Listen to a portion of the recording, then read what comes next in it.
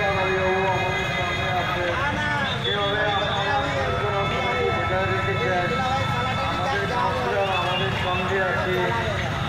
খুশি হয়েছি এইভাবে শান্তি শৃঙ্খলা শান্তি নিয়ে আজকে হয়ে